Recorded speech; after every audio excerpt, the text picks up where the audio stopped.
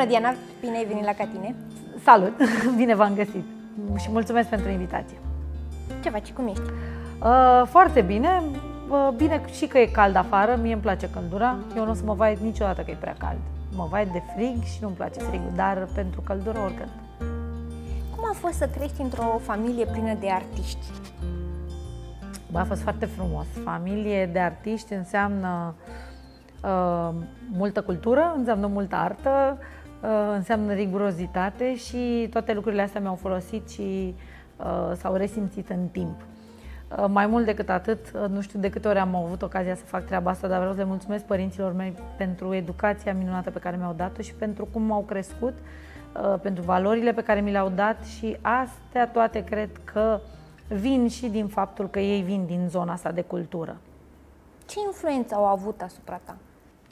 Um, pare să că nu s-a prins foarte mult de mine uh, treaba cu muzica. Mama a fost mezzo-soprană, tata dirijor, acum sunt la pensie amândoi.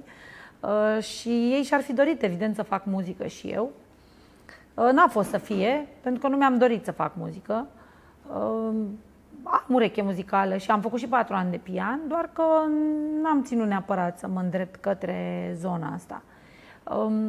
Um, una peste alta, evident că uh, ei au avut asupra mea un rol foarte, foarte important.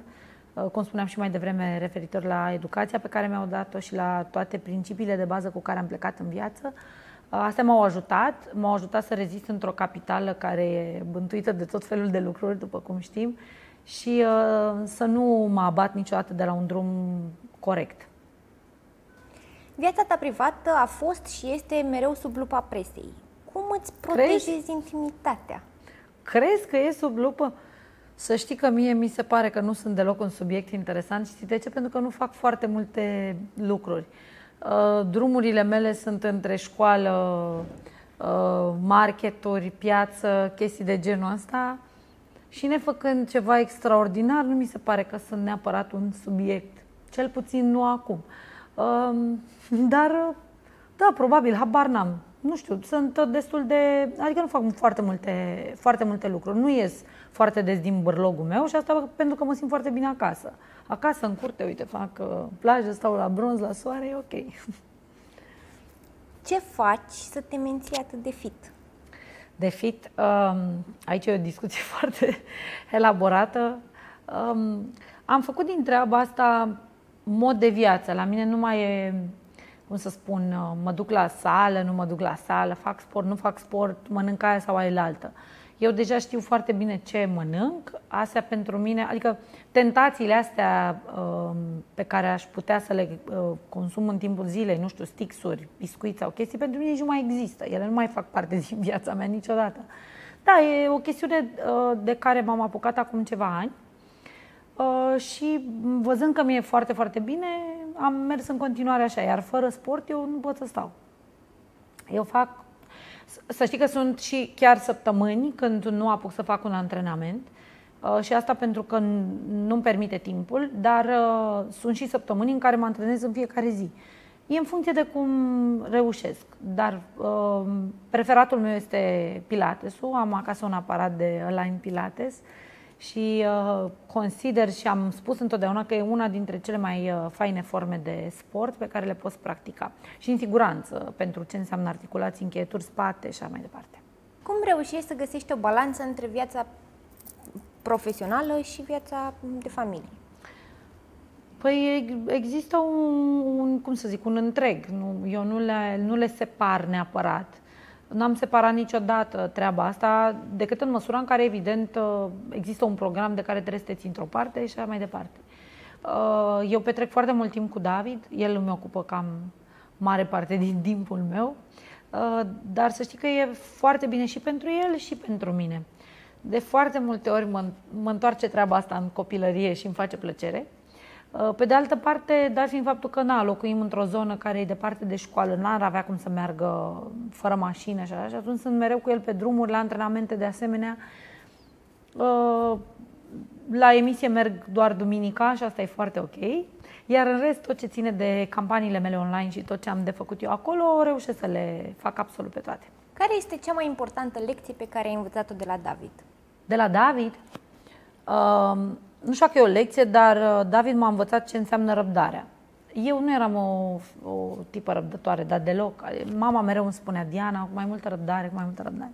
Nu reușeam niciodată să găsesc treaba asta foarte... Și că nu sunt genul la care o să desfacă vreodată un lănțic de ăsta, și care se împletește la gât și să fac... N-am răbdare niciodată. Uh, n-aveam. Acum am. Uh, cred că asta m-a învățat foarte mult David, să am mai multă răbdare. Ce părere are David despre viața ta profesională? A, n-are, adică David nu e genul de copil care să uh, te referi la televiziune, bănuiesc, nu? Uh, nu e genul de copil foarte lăudăros sau să zici că vreodată a zis că mama face de rege, nu, deloc. Din potrivă, e un, un copil uh, uh, modest și așa, care, căruia îi place să să fie normal, absolut normal și să nu fie niciodată privit diferit doar pentru că na, tata lui e cine e sau că pe mama o mai recunoaște o doamnă de la piață. Adică nu, deloc. Să fii mamă nu este chiar atât de ușor și te întâmpini cu foarte multe obstacole. Ce ți-ai fi dorit tu să afli înainte să naști? Ma, nu cred că, cred că orice aș fi aflat înainte să nasc ar fi fost oricum degeaba pentru că oricum am primit o grămadă de sfaturi și uh, tot felul de păreri despre cum e să fii mamă, ce ar trebui să faci. Știi, discuțiile alea interminabile între femei despre ce au făcut copiii acasă, cât au mâncat, ce... Uh, eu nu sunt genul care povestește foarte multe despre treaba asta, că nu bănuiesc că fiecare are poveștile lui și nu simt nevoia neapărat să toată ziua numai despre asta să vorbesc. Dar uh, cred că indiferent ce mi-ar fi spus oricine, povestea ta e povestea ta, trăirile tale sunt trăirile tale și poate să vină să spună și chiar mama, care evident a fost lângă mine și mi-a explicat uh, din fira păr uh, cum se întâmplă lucrurile, tot te lovești de niște chestii pe care trebuie să le gestionezi tu în momentul ăla. Deci nu, e ok. Nu ești, cred că mai am prietene, spre exemplu, care Uh, se pregătesc să devină mame și așa. Și ele îmi spun, oare sunt pregătită acum sau... Nu există un moment anume când să fii pregătit. Nu ești oricum niciodată pregătit pentru nimic. Și viața așa trebuie să și fie, cred, o surpriză permanentă. E frumos așa. Cum ai descrie neața? În trei cuvinte. Neața în trei cuvinte? Uh, spontaneitate, uh, veselie și energie multă pozitivă. Și echipa cum ai descrie în În aceleași cuvinte. cuvinte. În aceleași cuvinte și în aceeași notă, pentru că toată echipa e fix așa. E plină de energie, e plină de naturalețe, de spontaneitate, de... E o echipă frumoasă, uh, e o emisiune frumoasă, cu de toate, la care sper că te uiți. Um, e cumva emisiunea la care m-am uitat întotdeauna, întotdeauna, deci Poate că pe altele le-am mai pierdut, dar asta dimineața e, știi cum, cafeaua și neața, n-ai cum altfel. Um, și da, așa este, e, e un boom de energie, să zicem. Ce planuri ai pentru vara asta?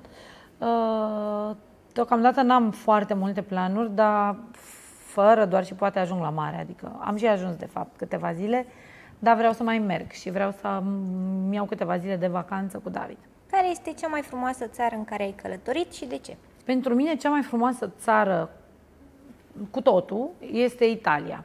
Cred că le are pe toate. Are istorie, are cultură, are uh, tot ce vrei uh, de vizitat și de văzut, are mâncare bună, are muzică bună, are tot. Nu știu, mie mi se pare cea mai completă treabă vreodată. Dar am vizitat și alte locuri care mi-au plăcut. Spre exemplu, mi-a plăcut Portugalia, Uh, îmi place și Spania, în egală măsură Grecia este pe sufletul meu pentru ceea ce înseamnă vacanțe și uh, vibe-ul ăsta foarte bun de vară. Uh, deși în Grecia e frumos chiar și iarna, sunt uh, multe locurile în care uh, am mers și mi-a plăcut să, să fiu. Mm, dacă m-aș întoarce mâine, cred că totuși în Italia. Și unde ți-ai dori să ajungi, dar încă nu s-a evit uh, O, în Maldive. Deci știi de cât am vreau să ajung în Maldive, n-am ajuns. Și tot spun că se duc insulele și nu o să mai existe și mi-e frică de mor că n-ajung acolo. Uh, în fiecare an zic că o să ajung în Maldive și nu ajung. poate că, nu știu, cândva o fac și pe asta.